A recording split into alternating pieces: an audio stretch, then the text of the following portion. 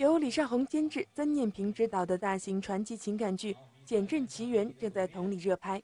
二月二十四日，剧组在当地召开了新闻发布会，宋茜、蒋劲夫、杨洋、张芷溪、男生等主创出席。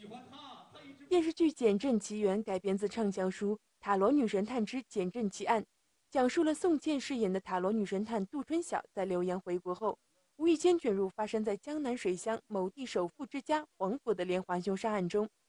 凭借其手中的塔罗牌指示、心思缜密的推断能力以及过人的勇气和智慧，让自己一次次从险境中解救出来，并逐步揭开了一桩隐藏了长达二十年的惊世谜案。作为韩国偶像天团 F.X 的队长，宋茜凭借着甜美的外形与动感的舞姿，拢聚了庞大的人气。而九零后蒋劲夫在出演了多部偶像剧后，俨然成为了一颗冉冉升起的新星。现场两人被踢爆多次吻戏笑场，令导演头疼不堪。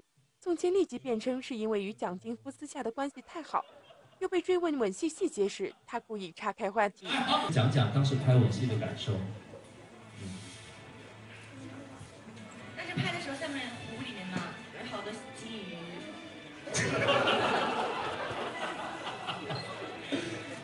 这才是宋茜本来的节奏。我们说的是吻戏，跟金鱼有什么关系？就是可美了。啊，很美。对，那个景，就想象那个画面，其实就能够投入那个戏份当中啊。嗯。福仔，你是一个大老爷们儿，你让一姑娘在那聊半天，你不应该帮帮她吗？其实那天就是我走过去的时候，我也看见了很多金鱼，然后特别特别美。对，那土是胖。对，那天金鱼特别特别的那个帮忙，有什么游过去还是游回来，游回去是游回去。就就情不自禁的就就就演是那场戏，具体发生了什么我们也记不住了。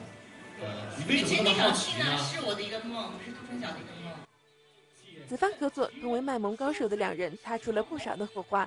在被问及对蒋劲夫的评价时，宋茜称赞他十分会照顾人，但称自己不会姐弟恋。是我比他年龄大。无所谓，现在流行年下恋。我不太喜欢。哦，最后一个，谢谢。那简静不喜欢姐弟恋吗？那你对宋茜有什么样的印象？呃，我觉得这无所谓了，啊，姐弟恋无所谓。然后宋茜，我第一次见她的时候是在一次活动上，然后看到她，因为之前也知道了，我觉得你可能在在电梯里面遇到的，不知道你有印象，就是。好像是国剧盛典吧，是吗？我记不清了。然后就觉得她也没怎么说话，就特别有礼貌。然后这次就是见面以后，我觉得她其实之前觉得她挺文静的，但事实上现在看她觉得是一个特别开朗、特别大方、特别活泼的一个女孩，就感觉哎差差别还挺大的。